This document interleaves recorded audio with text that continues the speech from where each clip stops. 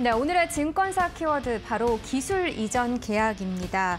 어, ABL 바이오의 리포트가 나왔죠. 이베스트 투자증권의 리포트인데요. 국내 뇌혈관 장벽 셔틀 보유 기업 중에 가장 앞선 단계 데이터를 증명했다. 이렇게 평가를 했습니다. 뭐 플랫폼과 면역 항암제, 이중 항체 기술 이전도 가능할 것으로 내다봤는데요. 자, 어떤 내용인지 함께 확인을 또 해보도록 하겠습니다.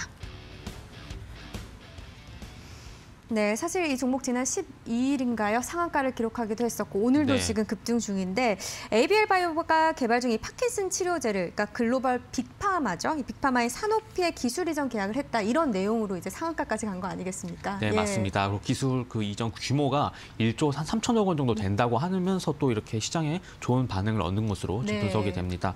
그래서 잘 모르시는 분들은 아, 1조 3천억 원이 다 들어오나 보다 이렇게 하시는 분도 있을 텐데 이게 이제 상업화까지 성공한다는 전제 하에 이제 1조 3천억 원이다. 그래서 최대 1조 3천억 원이다. 좀 이런 표현을 쓰고 있고요.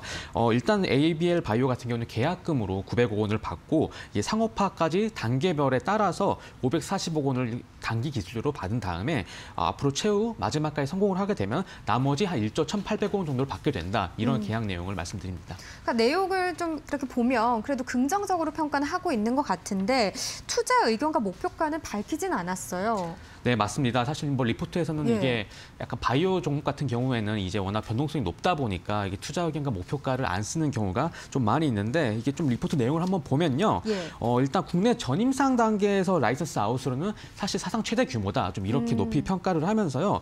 이제는 사실 전임상이라고 하면은 아직 사람 임상을 안 한 거잖아요. 그런데도 그러니까요. 이렇게 비싼 가격으로 팔렸다. 그래서 이제 원천 기술만 있다면 만약에 데이터만 굉장히 좋다고 하면은 앞으로 이런 바이오텍 같은 경우에는 valuation이 굉장히 높아질 수 있다. ABL 바이오 이외에도 예. 이렇게 전임상 단계에서 데이터가 확실하다고 하면은 기대해 볼 만하다. 좀 이런 분석을 또 보고서에서 해놨고요.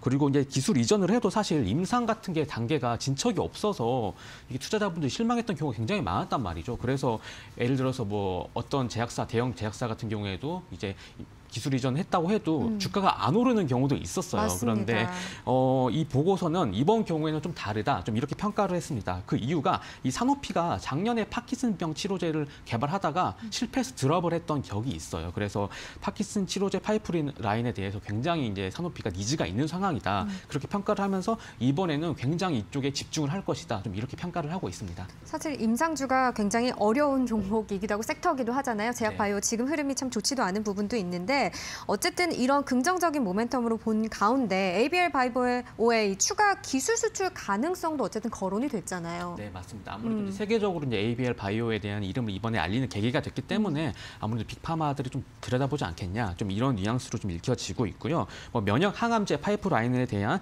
추가 라이선싱도 기대가 된다. 이번 보고서는 이렇게 썼었고요.